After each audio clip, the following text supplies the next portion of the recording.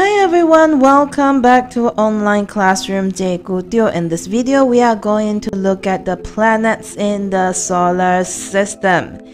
In our solar system, we have eight planets. Can you memorize or arrange the eight planets according to their position? We will start from the one closest to the sun.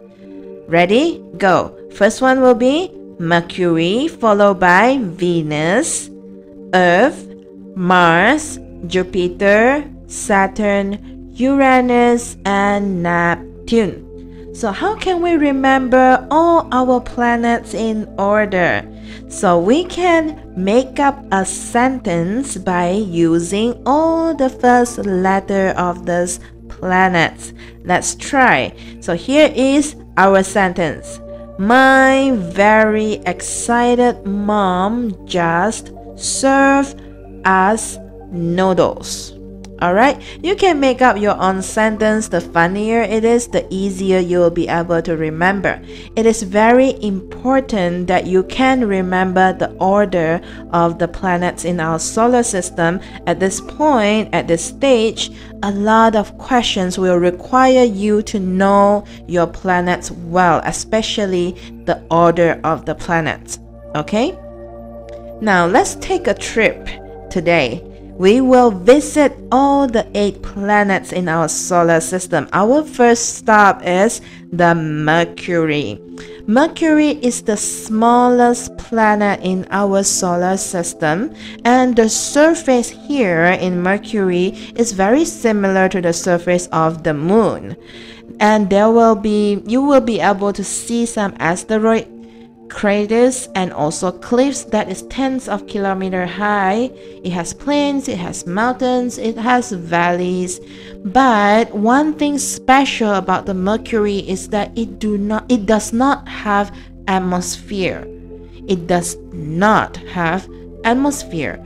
Our Earth and a lot of other planets, we have atmosphere. Atmosphere is a layer of gases that is um, blanketing the whole planet. It's like we are wearing a layer of jacket made of different combination of gases but mercury do not have that so light cannot be scattered in mercury and so the sky always appear dark in the outer space Alright, that is Mercury. Now let's move on to Venus.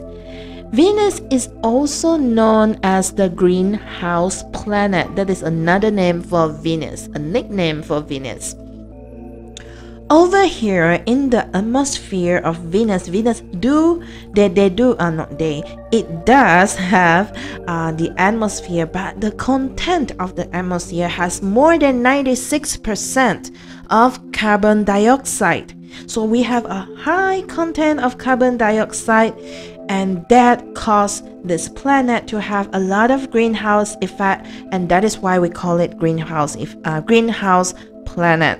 And this planet rotates from east to west. It is different from all the other planets. The other planets, for example, the Earth, the Mars, we all rotate from west to east and Venus rotate the other way around. It is pretty a pretty confused planet, huh?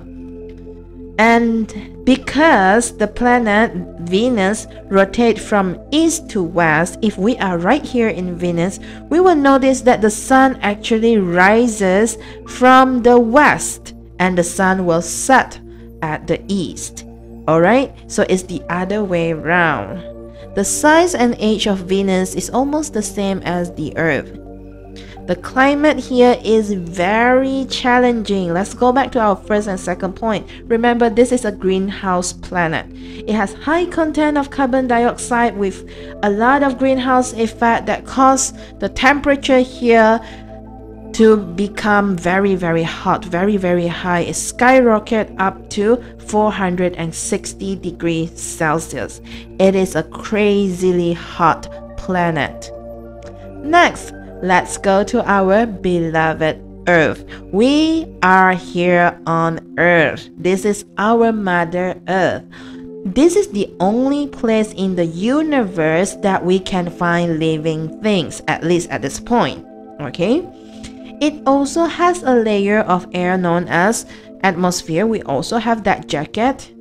And the atmosphere on Earth is actually um, very good. I mean, it protects us from solar wind and harmful ultraviolet rays, the UV rays and radiation from outer space. So this jacket do us really well, okay? And more than 71% of our earth is covered in water and about 29% is actual land. So here is our mother earth. It should be very familiar to you. We stay here. All right now let's move on. Let's take get on our rocket and let's go to mars. Mars is also known as red planet okay? Because it appears red. We will talk about that in a little bit. Okay? Mars has two moons. The earth only have one. We only have one moon. Mercury and venus do not have any. Mars has two. Okay? Their two moons has name and their names are, are phobos and deimos the surface area is only about 25% of the Earth, and its mass is also very light. It is only 10% of the Earth. If we observe Mars from the Earth, it can be divided into two different areas. One that is covered in dust and reddish sand. That is why it appears uh, red to us, and we call it the red planet. The poles, however, contain frozen water and carbon dioxide. Well, next, let's move on to Jupiter. Jupiter is a very special planet. It's almost one of my favorite planets other than the Earth. Why? Number one, Jupiter is the biggest in our solar system. Okay, it is the biggest in size it is about 320 times of the Earth's mass. Okay, so that means we need 320 Earth to reach the mass of the Jupiter, or twice the amount of all the planets in the solar system. Jupiter also is our hero.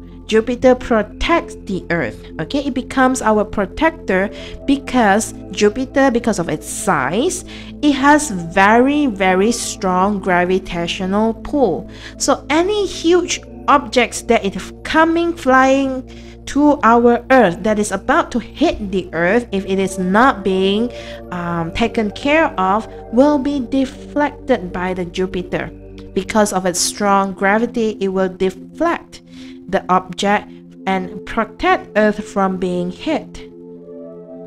And also Jupiter has the most number of moon. Again, it has the most number of natural satellites. So if we are right here on Jupiter, there are 67 moons in this planet. Again, there are 67 moons that orbits around Jupiter or in another word natural satellites which we will talk more about in our coming topics. Next, we will move on to Saturn. Most of you know Saturn because of a very special feature that is the ring around it. It looks like a planet that is wearing a huge ring with a hula hoop, right? So, Saturn is the second largest planet in the solar system after the Jupiter. It is classified as a giant gas planet and it has a ring system, which we all know, but we might not know that this ring system mostly comprises of ice. It is made of ice and maybe a little bit of rocks and dust. So I would like to wonder that if we are traveling here to the Saturn, we might be able to go ice skating on the ring of Saturn. What do you think? Saturn also has a lot of moons.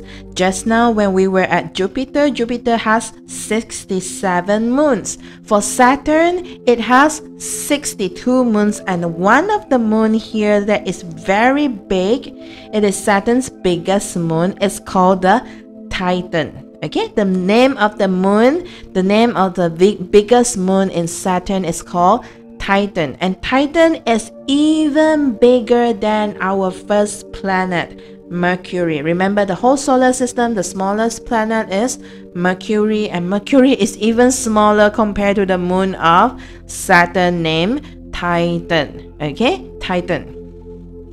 Next, let's go to Uranus.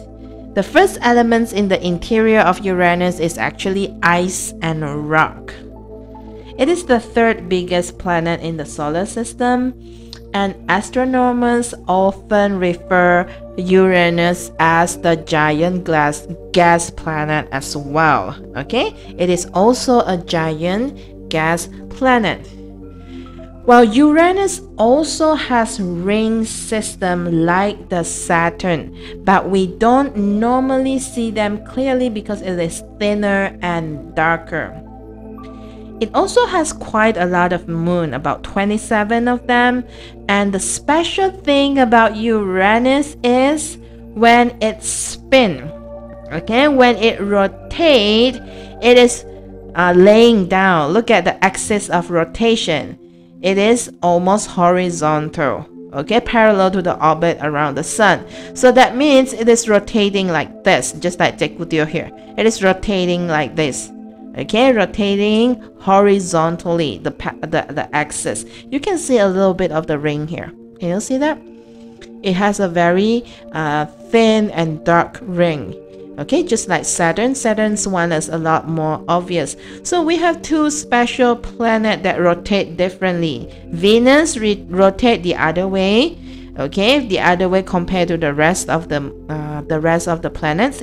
And Uranus rotate in the axis that is already tilted okay it is as if the the Uranus is laying down and rotate all right and it takes Uranus 84 years to orbit the Sun. That is a long time. And the last planet is Neptune. It is also a giant gas planet. And it takes you Neptune even longer to go around the Sun for one whole orbit, it will take Neptune 165 years. All right. Well, that is our short trip, quite a long trip actually, from Mercury all the way to Neptune. I will see you in the next video, okay? Bye!